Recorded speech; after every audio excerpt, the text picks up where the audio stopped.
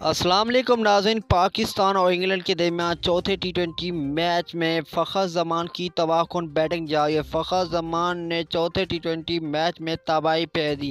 فخر زمان کی یہ بیٹنگ دیکھ کر انڈین ٹیم بھی پاگل ہوگی انگلینڈ کے خلاف فخر زمان نے ستائیس سالہ ریکارڈ توڑ دیا۔ فخر زمان کی یہ بیٹنگ دیکھ کر سینئر اینکر وکرام گپتا، کیا کہتے ہیں؟ آج کی اس خاص ویڈیو میں آپ دوستوں کے ساتھ مکمل شیئر کریں گے۔ اس سے پہلے آپ بھی فخر زمان کے فین ہیں تو جلدی سے اس ویڈیو کو لائک کر دیں اور چینل کو سبسکرائب لازمی کر دیں تاکہ آپ بھی ایسے انفارمیٹک ویڈیو جان سکیں۔ دوستو، پاکستان اور انگلینڈ کے درمیان چوتھے ٹی ٹوینٹی میچ میں فخر زمان کی تباہ کن بیٹنگ جاری۔ فخر زمان نے بائیس بالوں پر ستونجا آنس بنا ڈالے۔ آپ کو بتا جائیں کہ فخر زمان کی یہ اننگ دیکھ کر سینئر اینکر وکرام گپتا یہ کہنے لگے کہ یہ فخر زمان پاکستان ٹیم کا بہترین پلیئر ہے۔ یہ کھلاڑی ورلڈ کپ میں اب انڈین ٹیم کو نہیں چھوڑنے والا فخر زمان چوتھے ٹی ٹوینٹی میچ میں انگلینڈ کے خلاف فخر زمان نے بیٹنگ دیکھ کر انڈین ٹیم پاگل ہوگی فخر زمان کی یہ بیٹنگ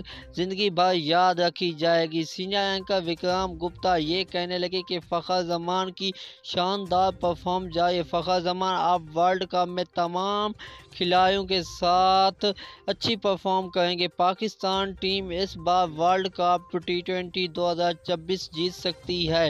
فخر زمان کی مدد سے۔ فخر زمان کی یہ تباہ کن بیٹنگ دیکھ کر انڈین ٹیم تو پاگل ہو گئی ہے۔ فخر زمان تو بہترین کھلاڑی دا ایوارڈ دیا گیا تھا۔ سینئر اینکر وکرام گپتا بھی فخر زمان کی تعریفوں کے پل باندھ لیے۔ آپ بھی فخر زمان کے فین ہیں تو کمنٹ سیکشن میں فخر زمان ٹائپ کر کے بتانا ہے۔ ویڈیو اچھے لگے ویڈیو کو لائک کر دیں تھینکس فار واچنگ ویڈیو